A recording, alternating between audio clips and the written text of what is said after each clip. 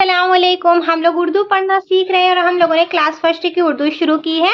हम लोगों को इसमें चैप्टर नंबर नाइन पढ़ना है। हम लोगों ने इसमें चैप्टर एट तक पढ़ लिए हैं कंप्लीट कर लिए हम लोगों ने हरूफ तहजी पढ़ा। और मद है और मिल, कैसे मिलकर बनते हैं छोटे छोटे शक्ल में हरूफ तहजी वो पढ़ा और दो चश्मी है वाला हम लोगों ने पढ़ा। आज हम लोगों को चैप्टर नंबर नाइन पढ़ना है, देखिए। चैप्टर नंबर नाइन में है कि दो हर्फ से मिलकर बनने वाले अल्फाज मतलब दो लेटर से मिलकर जो लफ्ज़ बनते हैं जो वर्ड बनते हैं इसमें ये बताया जा रहा है। अभी हम लोगों ने आ, मतलब उसको मिलाकर लिखने का पढ़ने का तरीका सीखे थे। अब हम लोग उसी के ज़रिए से जो हम लोगों ने सीखा है उसी के ज़रिए से हम लोग अब लेटर बनाएँगे लेटर मिला मिलाकर वर्ड बनाएँगे। चलिए शुरू करते हैं देखिए।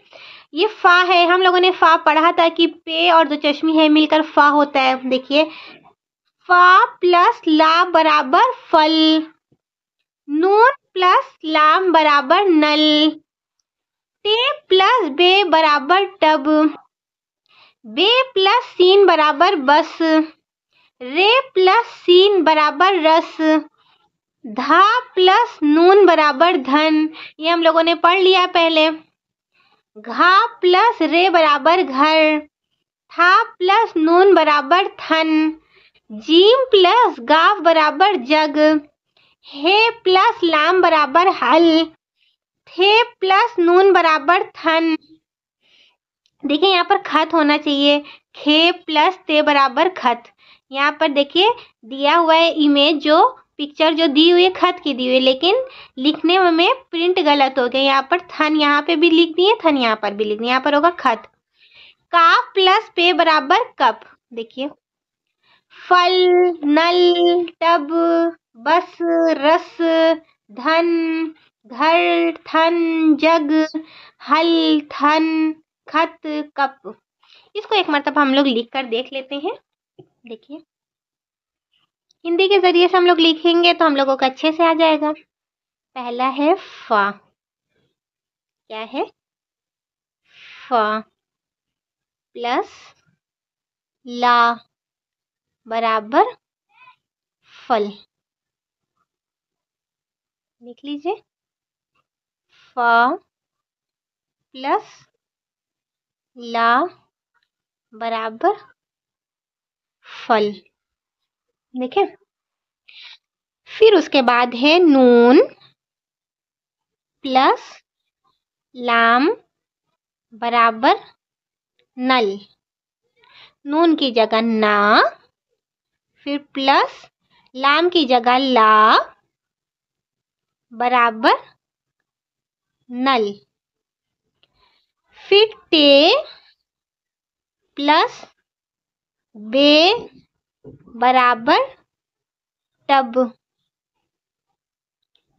टा प्लस बा बराबर टब फिर बे प्लस सीन बराबर बस। बा प्लस सा बराबर बस। फिर रे प्लस सीन बराबर रस। रा प्लस सा बराबर रस। फिर धा प्लस नून बराबर धन।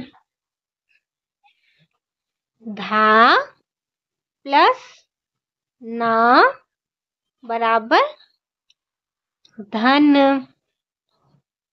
फिर है घा प्लस रा बराबर घर। घा प्लस रा बराबर घर। उसके बाद है था प्लस ना, नून बराबर थन था प्लस ना बराबर थन फिर देख लीजिए। जा जीम प्लस, गाफ, बराबर, जग। जा, प्लस, गा, बराबर, जग। फिर हे, प्लस, लाम, बराबर, हल। हा प्लस ला बराबर हल। फिर था प्लस था नहीं, था तो उसमें था ना। यहाँ पर जो मिस प्रिंटिंग हो गई थी, हम लोगों को खत लिखना है। खे प्लस तो बराबर खत।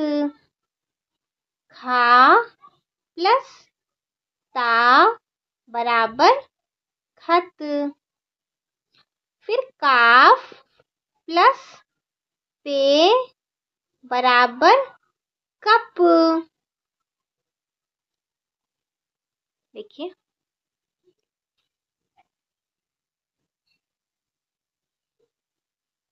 का प्लस पा बराबर कप। देखिए। हम लोगों ने हिंदी के ज़रिए से इसको लिखा तो हम लोगों को अच्छे से समझ में आ जाएगा। देखिए, फल, नल, टब, बस, रस, धन, घर, थन, जग, हल, खत, कप। देखिए, हम लोगों ने अच्छे से इसको लिख लिया और पढ़ लिया। हम लोगों को समझ में आ गया। कि किस तरीके से दो लेटर मिलाकर वर्ड बनाया जाता है। आप लोग इसको अच्छे से लिख लीजिए, अपनी नोटबुक में उतार लीजिए और आप लोग अपना पिछला सबक दोहराते रहिए। आप लोगों को जो भी समझ में नहीं आएगा, आप कमेंट में बताइएगा, मैं उसका ज़रूर सॉल्यूशन दूँगी। और आपको जितना पिछली वीडियो है, दो बुक मैंने, हम लोगों ने पढ़ा था तो हम लोगों ने दो बुक पढ़ना है तो आप इसको रिवाइज करते रहेंगे तो आपको अच्छे से आने लगेगा उर्दू पढ़ना। और जितने आज हम लोगों ने एक सफ़ा पढ़ा है, एक पेज पढ़ा है, देखिए, कल हम लोग एक एक सफ़ा रोज़ पढ़ेंगे तो हम लोगों की वीडियो भी ज़्यादा लंबी नहीं होगी और हम लोगों को पढ़ना भी आ जाएगा अच्छे से। फिर इसी के ज़रिए से हम लोग फिर जुमला बनाएँगे और इसी तरीके से हम लोग आगे बढ़ते जाएँगे।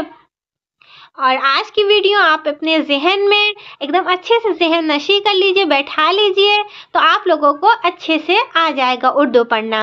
और आज की वीडियो के लिए इतना ही। मिलते हैं दूसरी वीडियो में। तब तक के लिए अल्लाह हाफिज़।